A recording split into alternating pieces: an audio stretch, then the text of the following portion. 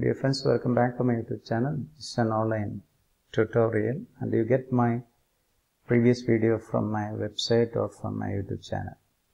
Today I am going to uh, discuss with you the procedure for ONGC Apprentice Recruitment 2020. Okay, uh, ONGC means it is Oil and Natural Gas Corporation Limited. It is a company with a global vision and noble mission to provide best oil and gas jobs in India. So there is a recent report uh, about career recruitment from this website address dated on 29th of July. And uh, there was a number of pos- apprentice position in like in various centers of ONGC. There are almost 21 centers in, of ONGC and uh, various positions like accountant and laboratory chemist and assistant HR and you can see here in various centers and different uh, number of seats available in various centers here. So you can uh, learn it from which center having more position number of seats in uh, various posts or like uh, I have mentioned accountant and laboratory assistant and uh, here assistant HR. These are the posts a degree students from an arts and science college can apply and totally you can see uh, num- number of posts in various for the candidates from various stream here. And chemistry I, I, I have found many centers uh, totally. If you calculated 156 seats are available uh, as a laboratory assistant. And uh, here what is the eligibility next one a normal age should be 18 between 18 and 24 there is a relaxation of 5 years for a CST candidate and 3 years for a BC candidate and for laboratory assistant post uh, basic qualification is BSc with PCM or PCB. PCM means physics, chemistry, biology stream students. PCM means physics, chemistry, mathematics student. Training period is for one year. You get stipend and uh, but no TADA is available. And uh, selection is based on your mark and merit. And registration is completely online and you can register here in this website address that application is started uh, from 29th July and it will be available till 17th of August this month. And the basic qualification is uh, for accountant post, basic qualification is bachelor's degree in, in commerce from a government recognized institute and assistant human resource post should have bachelor's degree in BA or BBA and laboratory assistant as I said you know SC with the PCM or PCB.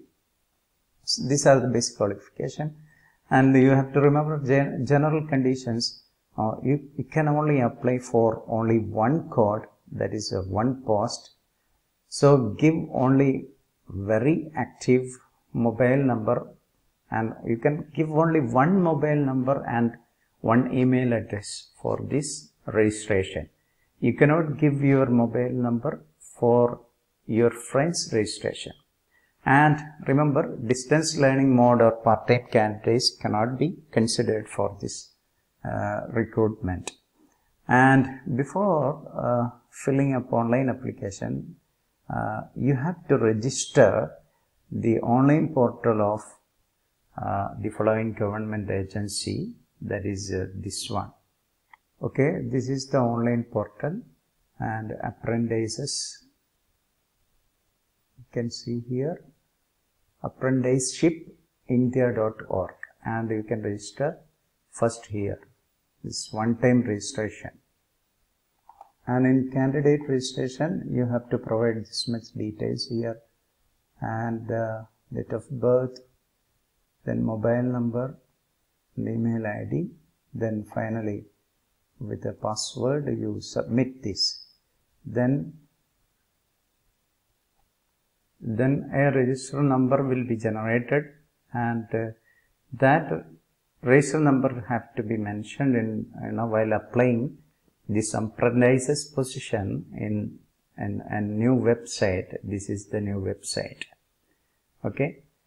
So uh, the candidate should have a, a color photo some requirement.